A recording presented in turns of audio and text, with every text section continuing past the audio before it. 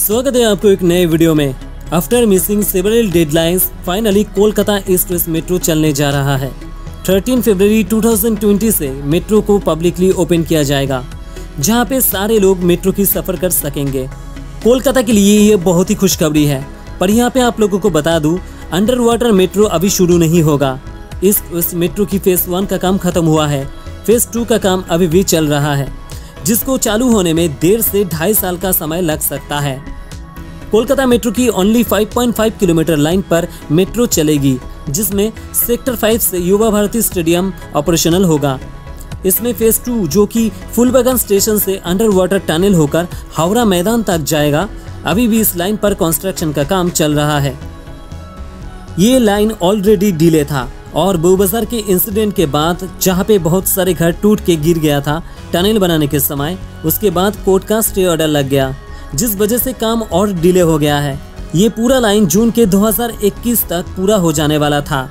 हालाँकि 20 मई 2019 में ही 5.5 किलोमीटर लाइन का अप्रूवल मिल गया था, जो 13 फरवरी 2020 में कमर्शियल सर्विस चालू होगा। कोलकाता में बन रहे बाकी मेट्रो प्रोजेक्ट्स के लिए स्टेट गवर्नमेंट बजट में 905 करोड़ रुपए फंडिंग दिया है। जिसमें शामिल है गरिया टू एयरपोर्ट लिंक, जो 2021 तक कंप्लीट हो जाने वाला है। इस लाइन पे 328 करोड़ रुपए अलॉट किया गया है। नुआपाड़ा बाराशात लिंक के लिए 200 करोड़, जोका भी बदीबाग रूट, जो कि 16.6 किलोमीटर का रूट है, इसमें 99 करोड़ रुपए अलॉट किया गया है। बैराकपुर बराहनगर दक्षिणेश्वर, जो कि 14.5 किलोमीटर का रूट है, यहाँ पे 10 करोड़ रुपए अलॉट किया गया है।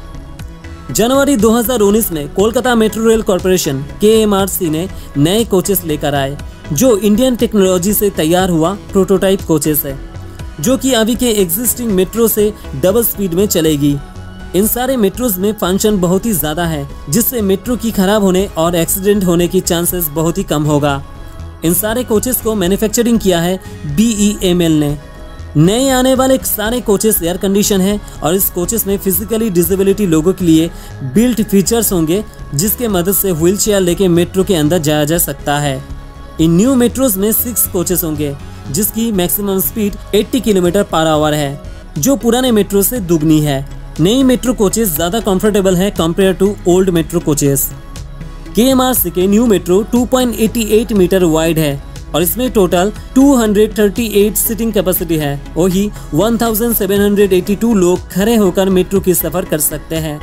यहाँ पे मेट्रो पीक आवर्स में हर ढाई मिनट के बाद आएगी। ये मेट्रो ऑपरेटेड होंगे सीबीटीसी मतलब communication based train control technology के मदद से, जिसे कंट्रोल किया जाएगा के एम आर सी के सॉल्ट लेक कंट्रोल रूम से। इस टेक्नोलॉजी के मदद से ड्राइवर का रोल बहुत ही कम होगा। सिर्फ़ मेट्रो की दरवाज़ा खोलने और बंद करने में और यात्रियों के मूवमेंट को फॉलो करने तक ही रहेगा।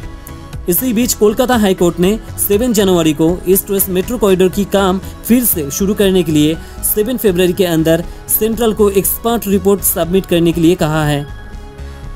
13 फरवरी 2020 कोलकाता मेट्रो के उद्घाटन के लिए रेल मंत्री पीयूष गोयल आ सकते हैं। लगभग तीन हज़ार करोड़ रुपए खर्च करके सेक्टर फाइव से फूल तक मेट्रो कॉरिडोर को बनाया गया है। आप लोगों को यहाँ पे बता दूँ, कोलकाता की east west metro corridor India का one of the expensive metro project रहा है। कुछ दिनों के बाद शायद इस कॉरिडोर में फूलबगन स्टेशन को इंक्लूड किया जा सकता है, क्योंकि फूलबगन स्टेशन का काम लगभग पूरा हो चुका है। फूलबगन स्टेशन जुड़ने के बाद सेक्टर फाइव से होके फूलबगन स्टेशन तक लोग मेट्रो का सफ़र कर सकेंगे। जिसमें समय भी बचेगा और एक कंफर्टेबल जर्नी होगी। एक्सपर्ट की रिपोर्ट को माने तो ईस्ट वेस्ट मेट्रो की पूरा कॉरिडोर बन जाने पर हर दिन 9 लाख लोग मेट्रो का सफ़र करेंगे, जो कि कोलकाता की टोटल पॉपुलेशन में से 20 परसेंट है। दोस्तों 5.5 किलोमीटर ही सही, कम से कम सालों से चल रहा काम का थोड़ा हिस्सा चालू तो हो रहा है। तो आप क्या सोच रहे हो? कमेंट पे बताओ। अगर आपको वीडियो पसंद आए तो प्लीज़ वीडियो को लाइक करें शेयर करें कमेंट करें और चैनल को अभी तक सब्सक्राइब नहीं किया तो कर क्या रहे हो यार? जल्दी से सब्सक्राइब वाला बटन दबाओ। मिलते हैं नेक्स्ट वीडियो में। टिल्टन गुड बाय जय हिंद, जय भारत।